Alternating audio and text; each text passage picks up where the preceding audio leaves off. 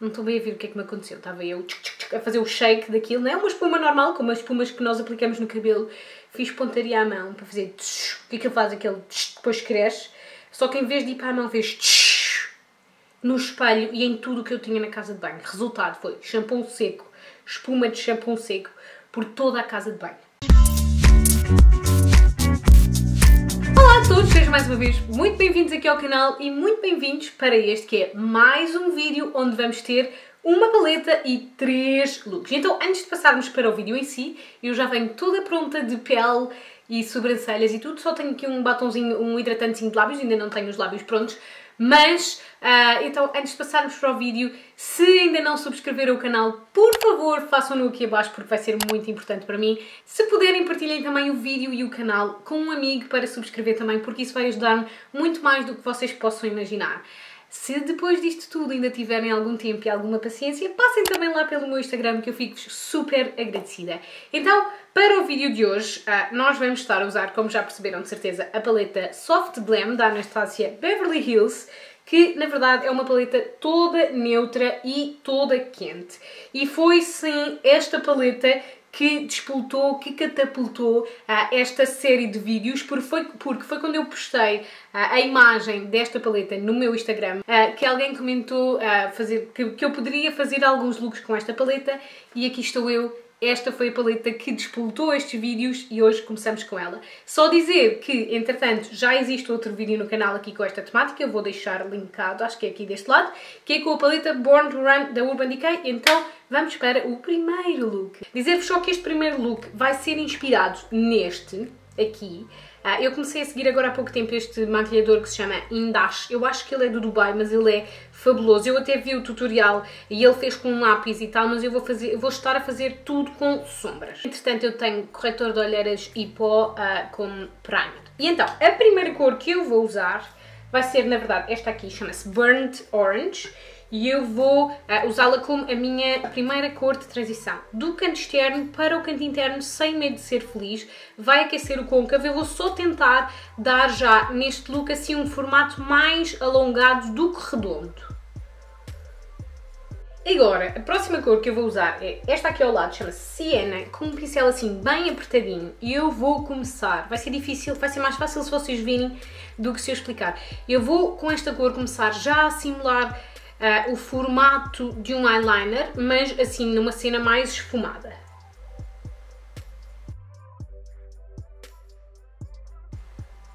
Deixo também logo subir assim um tantinho no côncavo, mas só mais ou menos até meio, para criar aquele uh, aspecto agateado.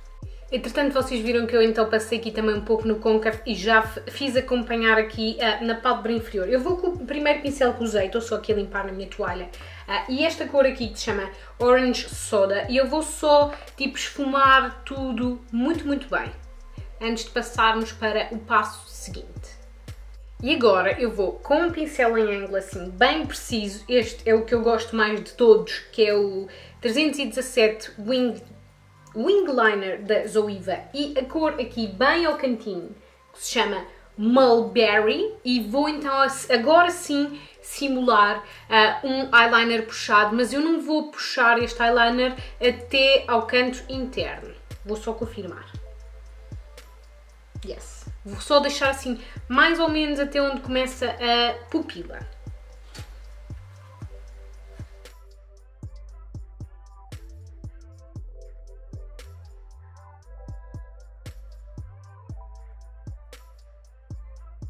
Depois podem voltar com o pincel uh, com, o, com, o qual aplicaram a cor siena só para esfumar tudo melhor, uh, mas sem acrescentar mais produto. A ideia é que fique marcado, mas tudo muito difuso, estão a perceber? Até podem voltar com um pincel vazio, só para ter certeza que está tudo em bom. Estamos quase a terminar o look e agora vou dar um borrifo, mentira, vou primeiro agarrar a primeira cor, esta que se chama Tempera, Tempera ou Tempera, whatever, que é clara e brilhosa. Eu vou começar por esta, vou passar assim o pincel e depois vou dar um borrifo com setting spray e vou passar na pálpebra móvel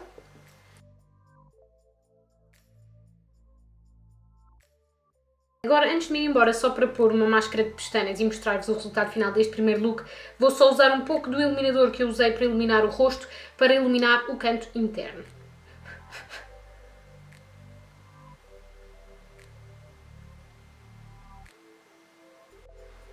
E lá, uh, apliquei uma boa camada de máscara de pestanas e voltei para vos mostrar o resultado final deste primeiro look com a paleta Soft Glam da Anastasia Beverly Hills. Hellos, hellos, chegamos muitos, muitos dias depois, eu não vou, não sei quantos, mas bastantes dias depois para o look número 2. Bom, o que é que eu tenho para vos dizer sobre este look? O segundo look este que estamos aqui a fazer hoje. É o único dos três que eu não faço ideia, não é não faço ideia, mas não tenho assim uma ideia super definida de como eu quero fazer, só sei que quero que seja assim uma cena super fácil e muito simples de fazer, que dá para fazer com qualquer paleta que tenha tons neutros e quentes ou neutros e frios, é só adaptarem. Como a paleta não tem assim nenhuma cor que eu usaria tranquilamente como cor base, eu vou só a passar aqui o resto do pó que passei nos olhos e vamos diretos para a primeira cor de transição. Bora lá! Eu vou começar por usar uh, esta cor aqui, chama-se Burnt Orange e ela vai ser então a minha primeira cor de transição. Do canto externo para o canto interno, sem medo de ser feliz. Ah, super já na cena de Natal. Bom, acabei de decidir que uh, vou aqui mandar-me um pouco mais para os rosas e então agora eu vou usar esta cor aqui que se chama Dusty Rose e eu vou aplicá-la assim quase por cima desta que eu acabei de aplicar para misturá-las e criar aqui uma base mais rosa. Okidoki, agora vou usar a cor aqui do cantinho, ainda só estamos a usar cores mates, chama-se Mulberry e eu vou então agora escurecer um tantinho o cantinho externo, tanto na pálpebra superior como na pálpebra inferior. É muito simples este look, acredito. E agora então, antes de passarmos uh, para as cores da pálpebra móvel em si, eu vou usar a primeira que se chama Tempera e vou misturar com esta aqui que se chama Fairy, porque esta aqui não tem o brilho que eu queria, então vou mostrar as duas para iluminar o canto interno e o osso da sobrancelha. Agora sim vai começar a parte divertida da coisa e eu vou então com esta cor aqui que se chama Rose Pink e eu vou começar com o pincel, mas se eu não gostar muito depois eu vou com o dedo. Agora sim, Vou então aplicar no, na pálpebra móvel do canto interno até quase encontrar o escuro do canto externo e vocês já vão perceber porquê. E agora eu vou com a cor do lado, que eu vou confessar que é a minha favorita da paleta, que se chama Sultry, e eu vou esfumar aqui a junção no canto externo, com o mesmo pincel que eu só passei aqui na minha toalha ah, para tirar o excesso do rosa.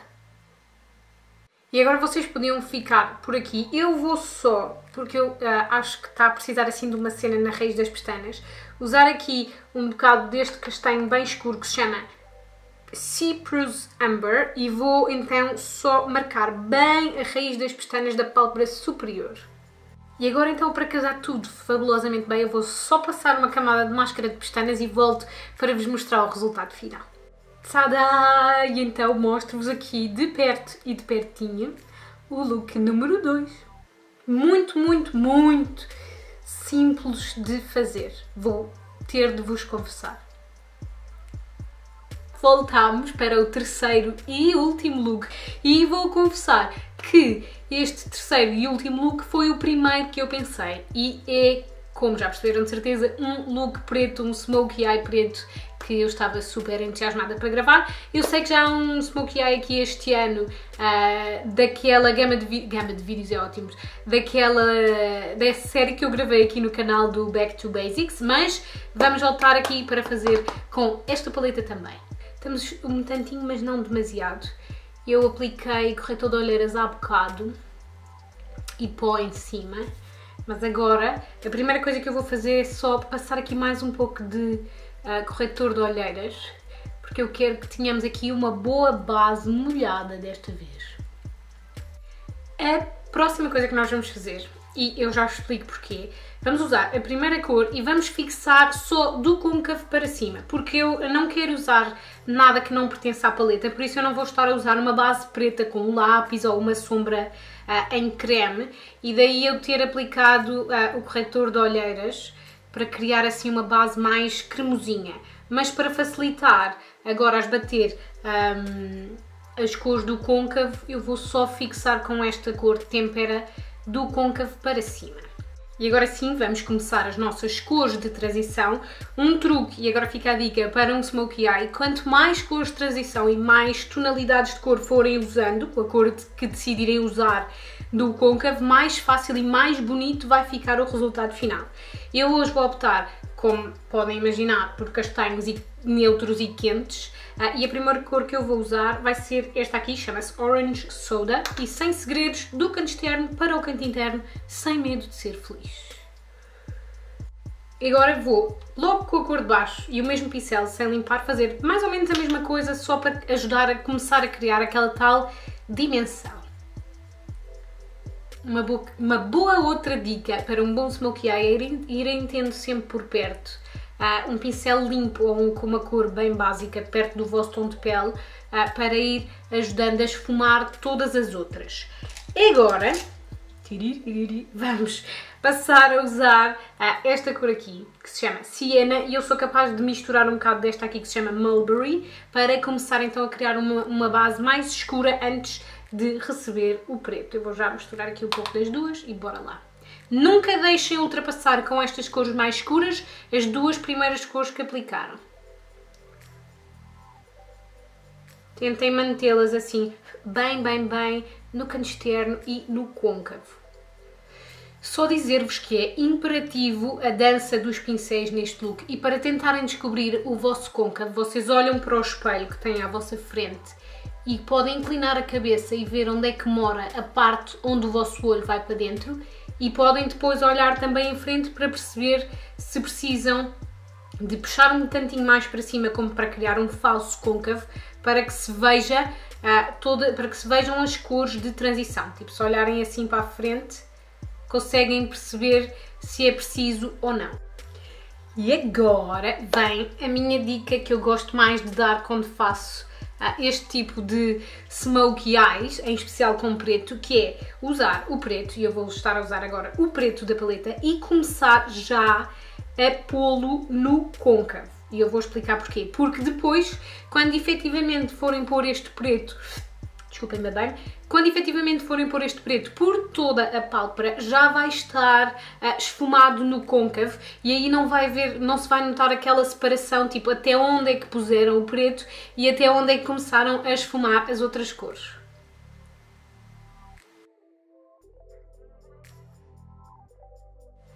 Depois de fazermos assim bem uh, a dança dos pincéis e terem mais ou menos parecido dos dois lados, vocês viram que eu pus aqui aquele pozinho branco para tentar não deixar descer mais do que o que era suposto. E eu vou agora fazer aqui uma batutice, como não vou estar a usar nada preto de base, só tentar aqui pôr um tantinho de corretor de olheiras para pigmentar mais a sombra preta. E vou começar por aplicá-la com o dedo, vai ser um bocado mais sujo, mas eu acho que vai ajudar a pigmentar ainda mais do que se eu usasse um pincel uh, achatado. Vou com o dedo mesmo. O estar a usar o dedo também, como já a pele está pronta, ajuda a que caia muito para baixo. Estou aqui a experimentar-os pela primeira vez, porque uh, sempre me fez muita impressão. Das outras vezes que eu fiz uh, o smokey eye, quando eu olhava assim para baixo, nas fotografias via que havia uma, sempre uma demarcação e usar assim um pincel achatado e marcar o formato e depois fumar está-me a dar assim umas vibes bem mais sei lá profissional uhum. vou então passar aqui o lápis preto na linha da água agora vou usar o resto do preto que eu tenho neste pincel e vou, ou se calhar até vou usar este lado para começar aqui a esfumar um pouco de preto, mas eu não vou querer ir com o preto até ao canto interno, só mais ou menos eh, onde mora a íris. A íris não, a pupila. E agora eu vou usar as mesmas cores que usei no côncavo, mas com um pincelzinho mais apertadinho. Vou começar com este Siena e esbato tudo. E depois, quanto mais clara, mais para baixo, até mais em baixo, eu vou deixar ir. Limpo na toalha e volto aqui com estas duas primeiras. Esbato ainda melhor e ainda mais até abaixo. Agora, vou fazer uma mistura destas duas cores, é o Glistening e o Fairy, para iluminar o osso da sobrancelha e o canto interno. Super importante esta, este passo. Tará! Estou bem chintex com o resultado final. Vou passar uma boa camada de máscara de pestanas e volto para vos mostrar o resultado final. Tchu, tchu. Tada! Voltei para vos mostrar o resultado final do look número... Não é 6, é 3. 3!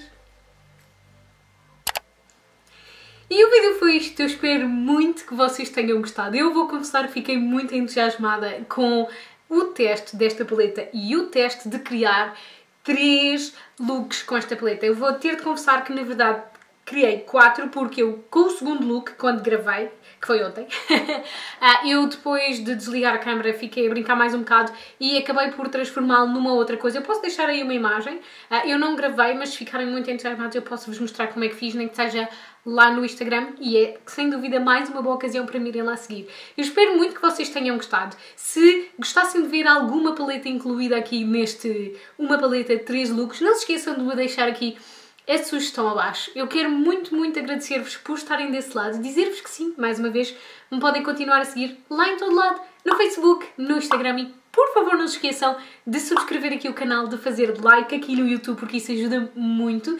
Se puderem partilhem o vídeo com alguém porque isso também me vai ajudar muito mais do que vocês podem imaginar. Mais uma vez, muito obrigada de coração por estarem desse lado e até ao próximo vídeo. E mostrando o poder desse bumbum. Lembram-se desta queimadura? Queimei-me outra vez. Tenho um problema qualquer. Eu até tenho vergonha de admitir.